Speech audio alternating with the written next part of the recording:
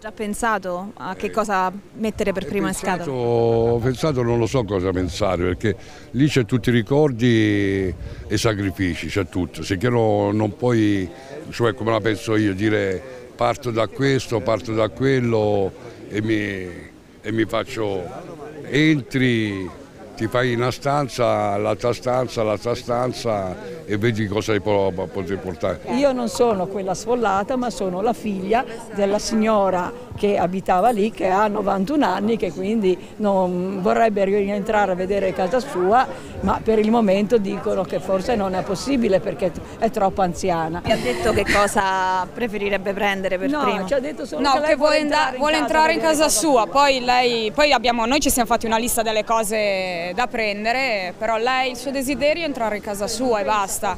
Sì. Fondamentale l'aiuto dei vigili del fuoco, diceva. Sì, sì, per me io dico nel mio caso sì, tutto quello che io trovavo lo, lo, io lo buttavo ai piedi, diciamo. Mia moglie riempiva i cartoni, portava i cartoni e loro cartavano giù, cartavano giù, cartavano giù.